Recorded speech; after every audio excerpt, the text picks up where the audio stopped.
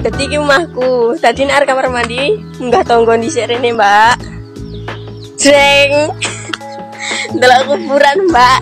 Terus iki kamar mandine. Baru-baru ini beredar video memperlihatkan seorang remaja perempuan yang memperlihatkan kondisi rumahnya. Ternyata kamar mandinya terpisah dengan rumah utama viral di media sosial. Video tersebut diposting oleh akun Instagram @diskonsolo. Di video pertama, seorang remaja perempuan menjelaskan kamar mandinya terpisah dengan rumah utama. Namun di video kedua ada remaja membandingkan kamar mandinya yang terpisah dari rumah tapi lebih seram.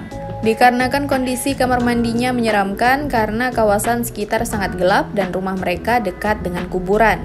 Jadi, saat penghuni rumah ingin mandi atau buang air besar di malam hari, mereka terpaksa harus keluar rumah dan melewati kuburan untuk masuk ke kamar mandi. Potret rumah dengan kamar mandi terpisah itu menyita perhatian warganet. Sebab di sekitar rumah terdapat kawasan kuburan sehingga warganet banyak yang membayangkan suasana kamar mandi tersebut. Sedangkan ada pula yang merasa khawatir karena halaman rumah masih tanah merah sehingga warganet takut terpeleset saat berada di sana. Video rumah yang kamar mandinya terpisah dan dekat dengan kuburan ini viral di Instagram. Hingga kini video banyak menuai komentar beragam dari warganet. Rumah kan di sini, kamar mandi di sana, tuh.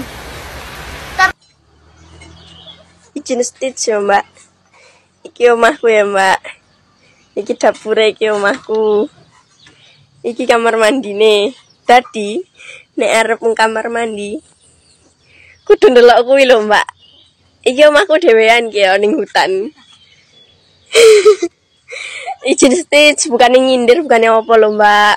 Dadi iki omahku. Dadi nek arep kamar mandi munggah tangga dhisik rene, Mbak. Jeng. Ndelok kuburan, Mbak. Terus iki kamar mandine.